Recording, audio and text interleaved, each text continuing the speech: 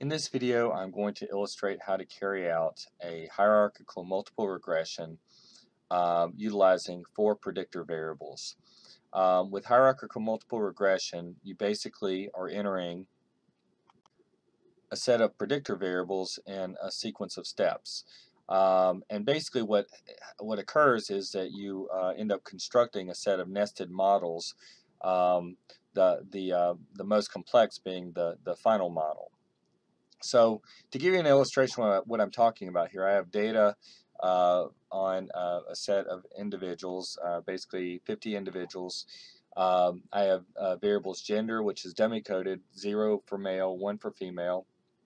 Subject matter interest, uh, mastery goal, and anxiety, these are all three predictor variables uh, alongside gender, but these three variables are being treated as continuous, and achievement is the dependent variable in the, in the models and it is also uh, being treated as uh, a continuous variable.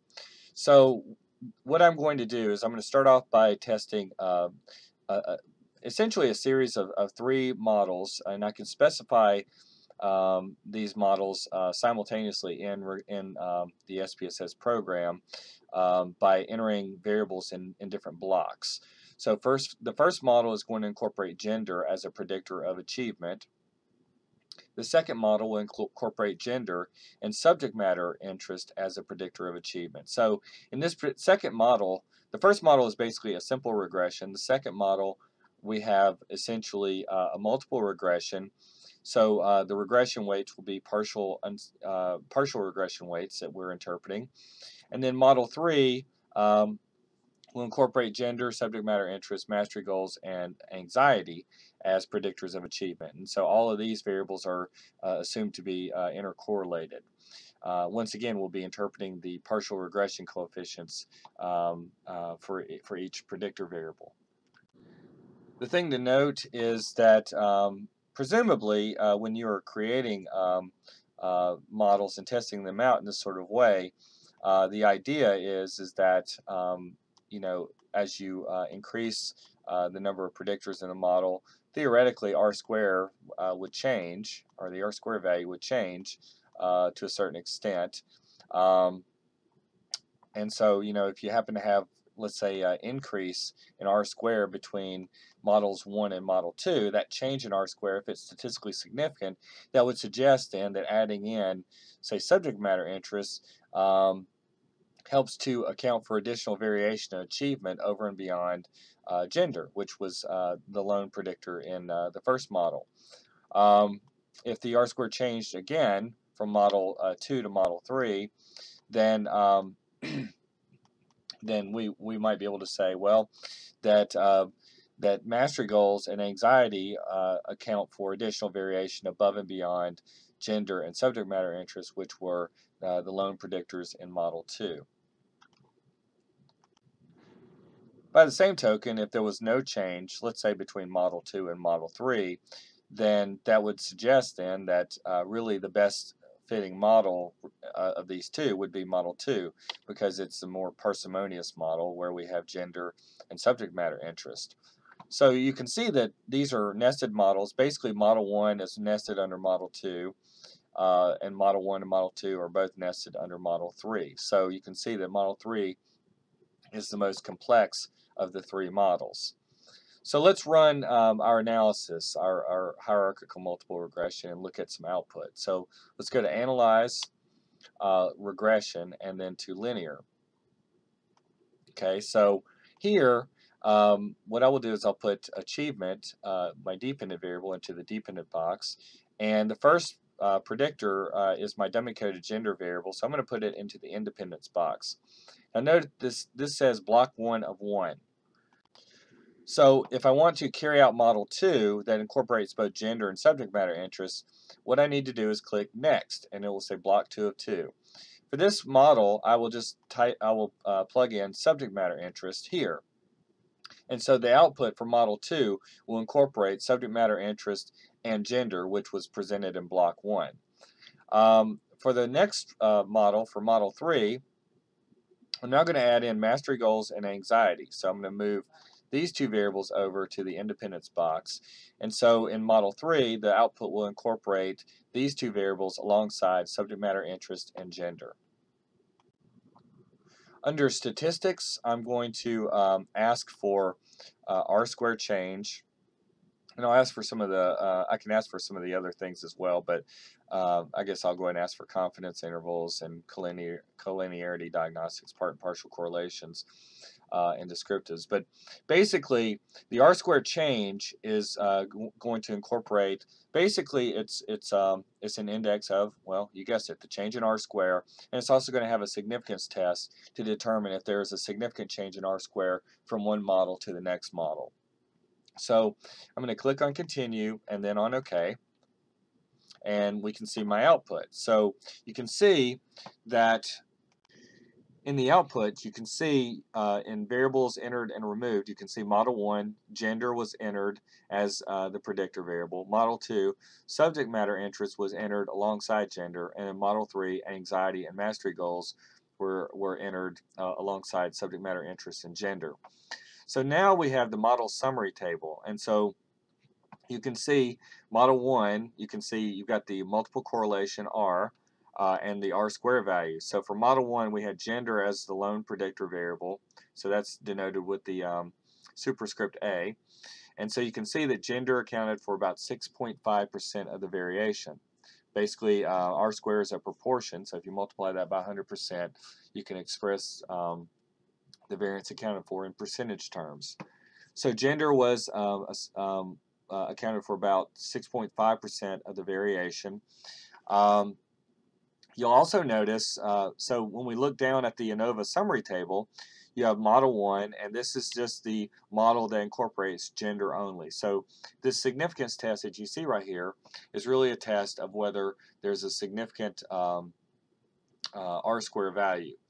Um, another way of thinking about that is is that is uh, to um, is that it's basically addressing is there a significant improvement in r square over a null model where basically uh, r square would be zero. So as you can see, the r square value was uh, the p-value for uh, the our um, our f test uh, was um, 0.074, which would not be statistically significant at the conventional 0.05 level. So um, for the first model with gender, that was not um, basically a statistically significant model. Um, when we add in uh, subject matter interest, now you can see that the R-square value uh, is now 0.276. And you can see for model 2 that that model was statistically significant. So this model right here, this R-square value was not significant. Uh, it was 0.065. Model 2, uh, the R-square value was 0.276 and it was statistically significant.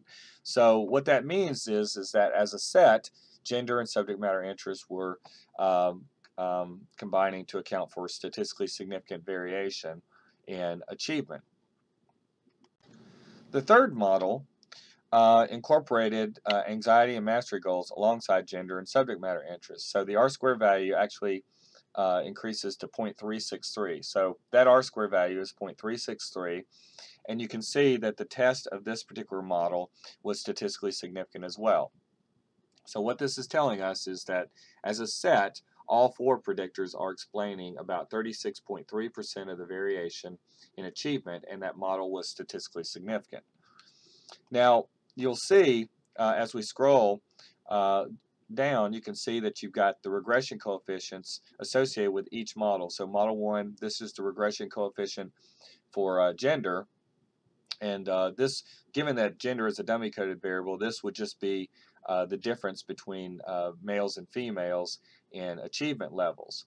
Um, and in fact, since females were um, coded 1, uh, basically they're scoring about a little bit over 4 points higher on average on achievement than males. Then for model, so you can see that we have the significance test as well, uh, the uh, standardized regression weight, and, and, so forth. With model 2, you can see that now we have um, gender uh, again, um, and you can see that is not statistically significant as well. Uh, subject matter interest, however, kicks in and um, um, you know basically uh, you can see that uh, this is the unstandardized regression weight, and you can see that it is statistically significant. So when we go back and we look at Model 2, we again saw that the R-square value was 0.276.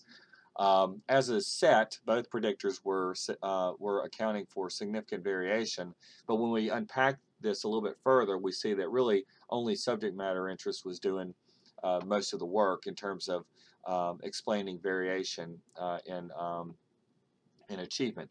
Then when we look at Model 3, you can see uh, the coefficients again, and you can see that with respect to subject matter interest, um, again, it was really the lone significant predictor in the model, whereas mastery goals and anxiety were, were not significant predictors. So, um, you know, we did have an increase in R square from Model 2 to Model 3, um, with with the um, the the combined set of predictors uh, accounting for significant variation in achievement in Model 3. However, again, only subject matter interests uh, accounted for uh, the only unique variation uh, in achievement. Now, it, so we want to keep in mind that uh, you know the R-squared values are addressing just pr proportion of variation accounted for by the predictors in each of those models. But we might be interested in determining whether there's a significant change in R squared between models. So what happens when we add in uh, additional predictors? So this is where uh, this part of the uh, output comes into play, the change statistics. So the R squared change is giving you the, the uh, literal change um, in R squared values from one model to the next. So you'll see at model 2, you have the R squared value equal to 0.276. The change from model 1 to model 2 in terms of r squared, I mean, it's just basically computed as taking this r squared value and subtracting this r squared value, which gets you 0.211, meaning that by adding in uh, the subject matter interest variable, we accounted for a, approximately 21.1% additional variation over the model that, um, that, that just incorporated gender. Now, is that a statistically significant amount of change? Uh, this is a p-value, and basically there's an f-test associated with this uh, r-squared change value. So the p-value is 0.001, so we would interpret this to mean that yes, there's a statistically significant increase in the r-squared value from Model 1 to Model 2. Um, um, and there you go. So um, the next uh, uh R square value you see is uh, for Model 3, 0.363. So if we take 0.363, subtract the 0.276, we have an r-squared change associated with Model 3, so basically it's a change from Model 2 to Model 3, of 0.086, or roughly 8.6%. Uh, ad additional variation accounted for by adding in the set of anxiety and mastery goal variables. Was this a statistically significant change? Uh, you know, at the conventional 0.05 level, we would say not. We would say it's not a significant uh, change. Nevertheless, uh, we, we, you know we can still say that as a set, you know these variables did account for uh, statistically significant variation in achievement. Now, you might be confused a little bit by this first r-squared change. You have the 0.065, and this value is equal to the r-squared value that you have right here in the model summary table. And basically this is a change over a null model. So uh, if you think about a, a, a, model zero, if you will, where the predictors are accounting for zero variation or zero percent of variation, then the change uh, would could be just computed as uh, 0.065 minus zero, which would obviously give you a change of 0.065.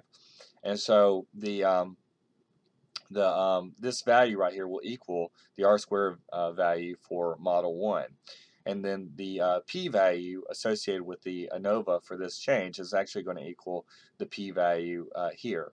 So uh, in a nutshell, all these values in row 1 are going to equal this are, are going to be the same values that you see in the model 1 uh, ANOVA summary table.